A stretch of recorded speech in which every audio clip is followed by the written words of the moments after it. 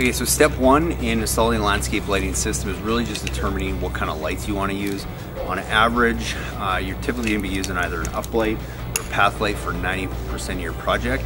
And if you're a do-it-yourselfer and it's your first time, I would recommend getting a good quality fixture, uh, like an uplight like this, that takes an MR16 bulb, uh, like this, that you can go and you can interchange if you need to. So a good LED bulb will last you, you know, anywhere from 10 to 50,000 hours depending on the quality. And the reason I like doing that is because if you install the light and you don't think it's bright enough or it doesn't look quite the way you want to, you can go and change that bulb out later with a uh, brighter intensity one, a wider degree and whatnot. And same thing with path lights.